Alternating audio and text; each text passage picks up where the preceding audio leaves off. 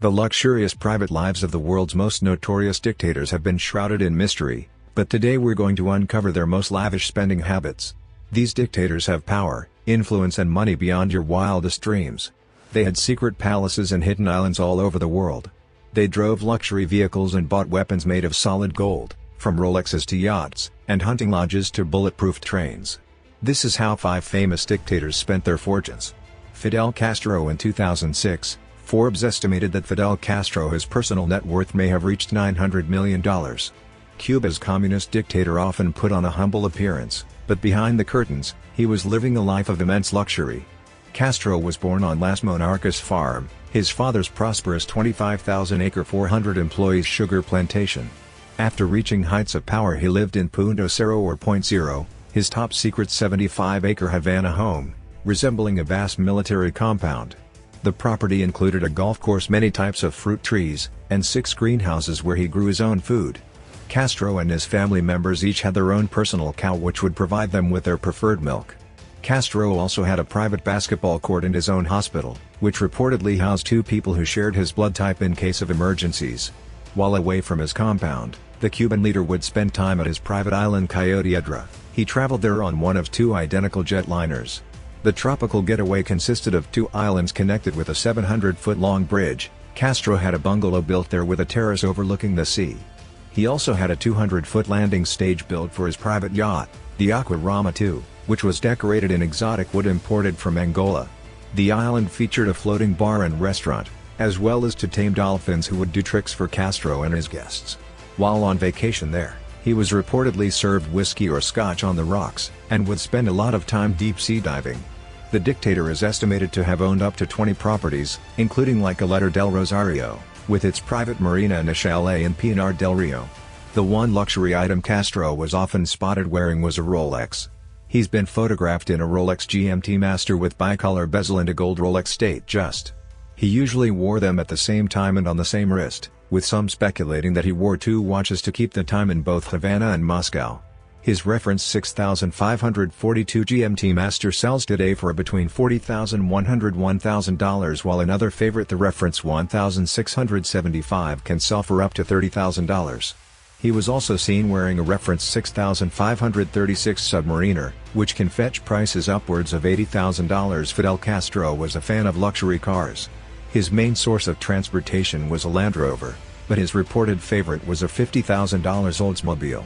He also spent a lot of time in his Mercedes-Benz 600, worth over $100,000. Saddam Hussein. While president of Iraq, Saddam Hussein built quite a reputation for himself, and it wasn't all based on brutality. United States officials have said that Saddam's wealth ranged from $2 billion to $40 billion. It's hard to come to an exact number, because it's rumored that he may have hidden away as much as $30 billion. Forbes reports that much of his money was spent on palaces across the desert, However, his most noteworthy purchases are his gold weapons. He had a golden Tabuk, an Iraqi variant of the AK-47 and a gold M77 rifle, which eventually sold at auction for over $48,000. In 2014, another $1 million worth of his gold weapons was found in the U.S. They've been smuggled into the country by members of the Marine Corps.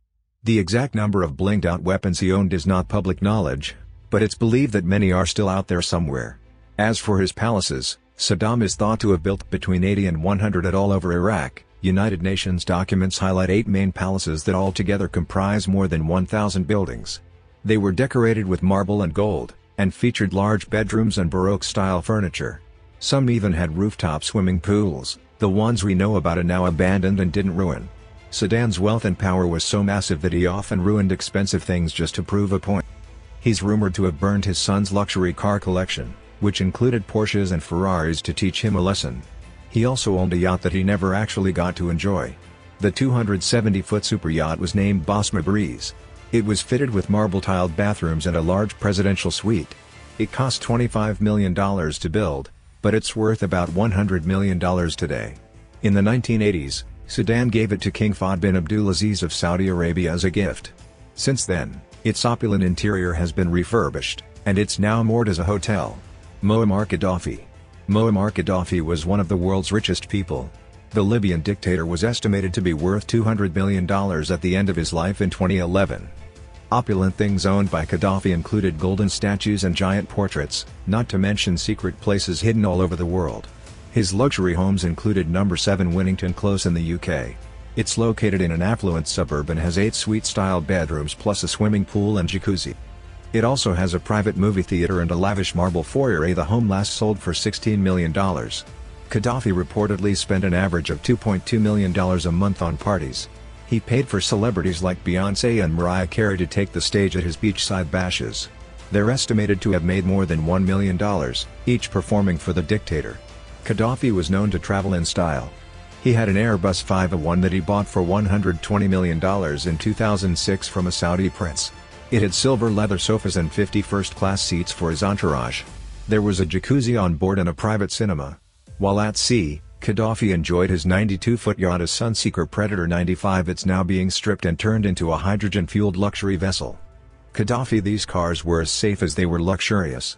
He ordered a custom bulletproof Maybach 57S coupe, of which only 8 were built. His model was recently resold for $1.15 million. The dictator would also travel in an armored BMW 7 Series and a stretched-out S-Class Mercedes. He owned a custom Fiat 500 that he had built for $260,000. Perhaps the strangest car he owned was the one he designed himself the Libyan Rocket, which had a 230 horsepower V6 engine and the nose and tail of a rocket. To further prioritize his safety, Gaddafi would travel with a giant luxurious Bedouin tent. It was bulletproof and allowed him and his entourage to completely avoid hotels. Kim Jong-il, the second supreme leader of North Korea, Kim Jong-il, liked living the good life. It's estimated that his personal expenses comprised 20% of North Korea's entire annual budget, and that he had $4 billion stashed away in European banks. His suits were custom tailored out of Scabal, cashmere and silk, which cost $300 a yard. Four yards were needed for every suit, so his daily wear cost a minimum of $1,200 and that's not including the tailoring costs. His favorite shoes were from the Italian brand Marucci, he preferred Omega watches, which he would give as gifts to his staff. He loved Perrier bottled water, and reportedly spent $800,000 a year on Hennessy cognac. His love of luxury goods was so strong that in 2006, the US placed sanctions on some of his favorite high-end items. The banned products included yacht segways, rare stamps, and Chanel.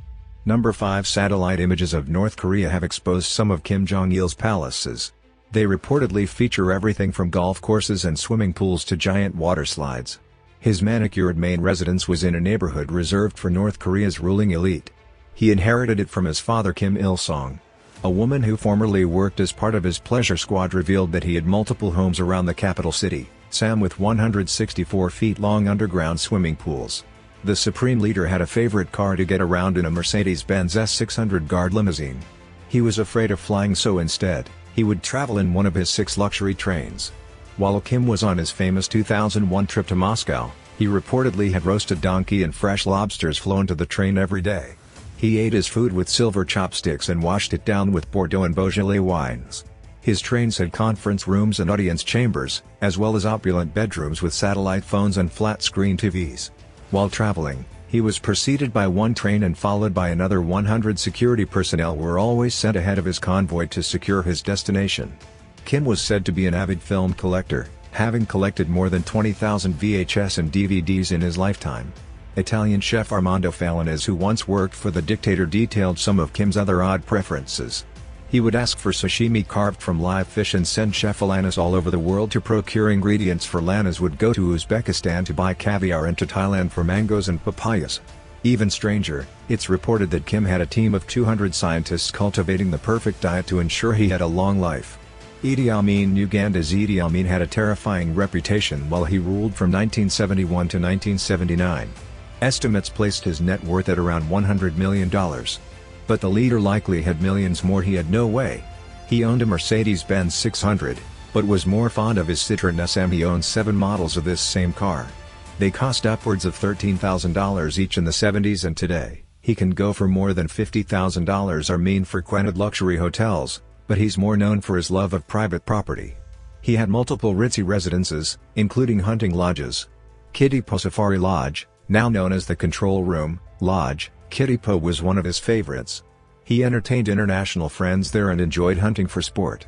He also spent time at Lodge or Hideaway in Murchison Falls National Park. He turned this place into a private retreat, and was responsible for the elephant population dwindling from 9,000 to just 160. Due to his extensive hunting on the grounds that two-story lodge could accommodate 160 people. Each room had a balcony overlooking the Nile Junction, and guests would have access to a large swimming pool.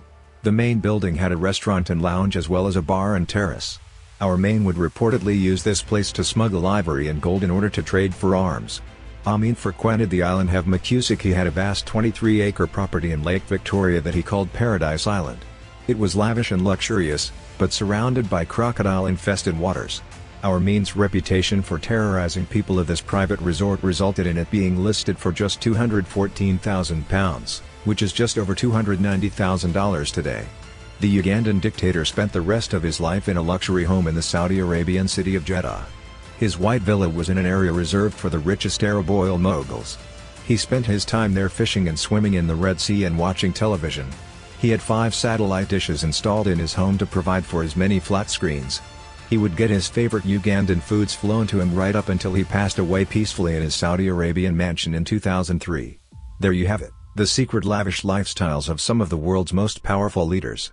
Which of these dictators do you think had the most eccentric spending habits? Let us know in the comments. Don't forget to like this video and subscribe to World Wealthy for more videos like this one. Thanks for watching. See you next time.